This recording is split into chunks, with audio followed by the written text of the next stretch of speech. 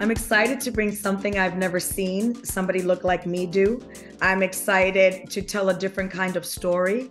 I'm excited that this story, Dolores Roach, is not necessarily a Latino story, but it just happens to have two Latinos as the lead, myself and Alejandro Hernandez.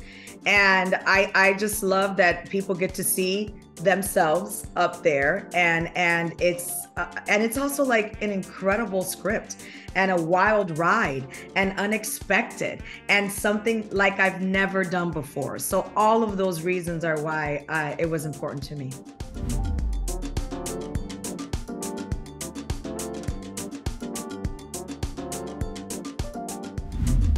Well, I mean, we we have a shorthand, right? It's like eh, you know, uh, and we understand each other and we also understand what we've both had to go against you know and what we have and the challenges that we have as women of color as latinas as wanting to be able to tell our own stories you know uh and and not have them whitewashed you know or have them you know turned into something else so I think having a lot of the same experience and wanting wanting a lot of the same things, which is changing the narrative, and that's why it's it's it's great to work with a Latina like Gloria. You know what I mean?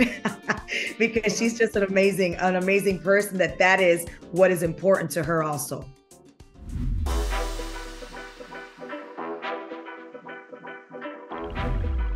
Oh, I love that she's a survivor. I love that she is uh, relatable. I love that she is uh, trying her best in this world.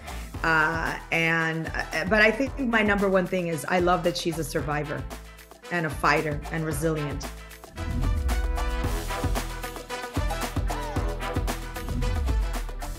Well, I mean, Poderista is all about supporting strong, fabulous Latina women in whatever whatever they do, whether it's whether it's owning, you know, a restaurant or or being a doctor or being an astronaut or being an actor. So it's all about that. About uh, I think that every Poderista will love it.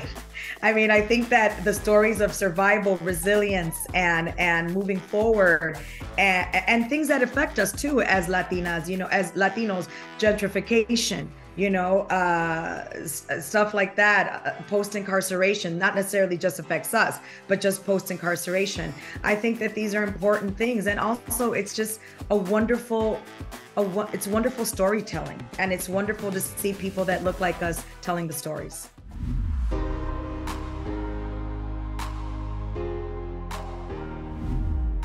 My favorite is the one my mother makes, and it's like a chicken and cheese, but it's like a chicken in una salsita. So it's like a chicken criollo kind of like uh, with the cheese, and that's my absolute favorite. And there's little papitas in there too.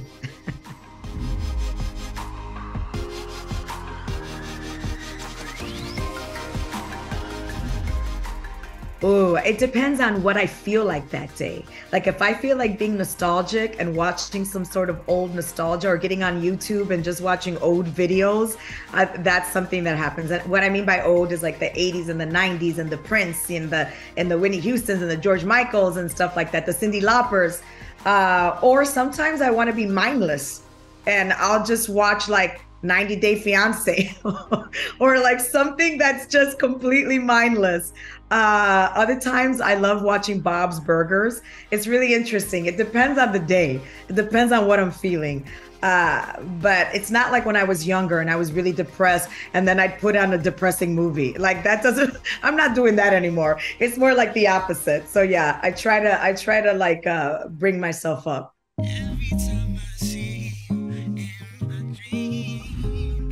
Oh, anything that Lisa, Lisa, uh, uh, you know, any freestyle, any like, any like, uh, I wonder if I take you home. The cover girls with the show me, the freestyle Taylor Taylor Dayne with to tell it to my heart, all that old uh, freestyle music that I used to listen to in high school. That'll definitely get me going.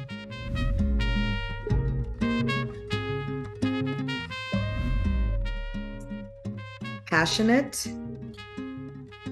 loving protective.